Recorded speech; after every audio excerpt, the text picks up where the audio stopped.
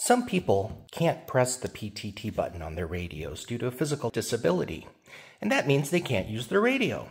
Well, the solution is to modify a K1 connector. The K1 connector, if plugged in fully in its original form, will turn off the microphone and the speaker.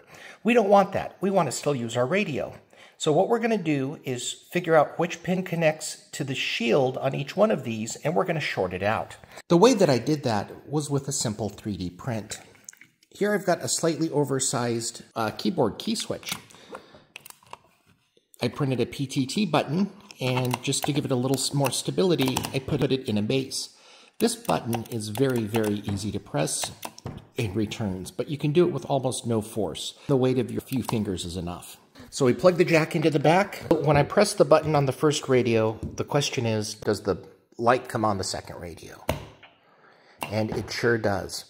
I can now press the button to transmit on one and receive on the other, and I still have the onboard microphone and speakers.